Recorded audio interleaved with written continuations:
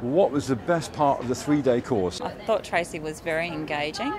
Um, I've attended a lot of other workshops, and by day three, I'm going to sleep.